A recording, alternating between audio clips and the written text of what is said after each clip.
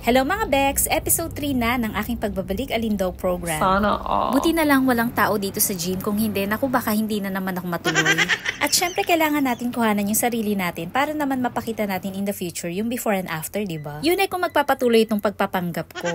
Hindi ko alam kasi kung mapagpapatuloy ko pa itong pag-gym ko na to. Pero sana mapagpatuloy ko to. Sayang naman yung naumpisahan ko, di ba? So, balik gawe, dapat hinay-hinay lang. Una, walk-walk. Tapos after mga 3 to 5 minutes, pwede na nating bilisan ng dahan-dahan. So, bago nga pala ako nag-start nito, nag-warm up muna ako kanina sa bahay. Buti na lang hindi masyadong sumakit yung katawan ko kaninang umaga. Medyo light lang yung mga braso ko at saka yung mga legs ko. Pero walang makakapigil sa akin mga Bex. Go for the goals! O, ba diba? Talagang seryoso na to. Takbo lang ng takbo, Diyos. Pero syempre, ayaw ko ring biglain yung katawan ko. So, maya-maya lang, pagkatapos ko dyan, nagpahinga lang din ako ng mga sandali. Tapos, mga ilang minuto lang, go na naman.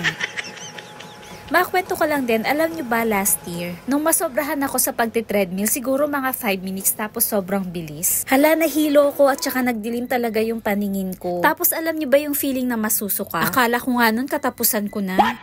Hindi ko nga alam kung paano ako nakauwi. Ang alam ko lang, nakahawak ako sa wall hanggang sa elevator hanggang sa papasok sa room namin. yung parang gumagapang na pauwi.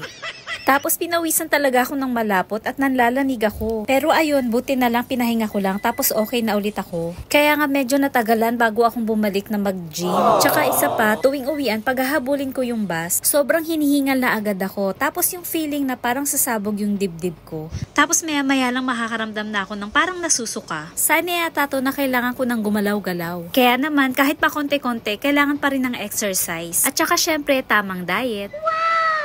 Sa susunod, magta-try ko ring mag-jogging sa gabi, kaya lang sobrang init kasi sa labas. O kaya, sa susunod, siguro makikita na ninyo kung nagzuzumba. Pwede na.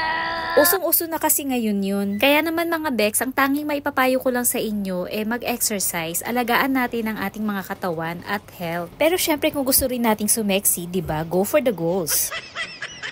Sana all. Hay nako, marami na akong sinasabi. Sana talaga mapanindigan ko na to at hindi puro pagpapanggap. O ayan nga, hinihingal na agad ako. Konti pa nga lang yung tinatakbo ko, parang hingal na hingal na agad.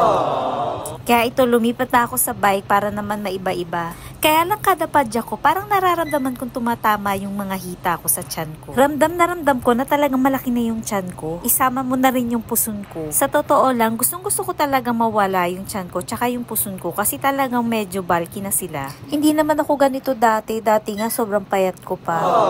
Lahat ng damit na gusto kong masuot nasusuot ko pa, ngayon hindi na. Anyways, kaya nga kailangan seryosohin ko na tong pag-gym ko. Kaya sigurado na ko, masakit na naman ang kalamnan ko. Yun lang. Thank you.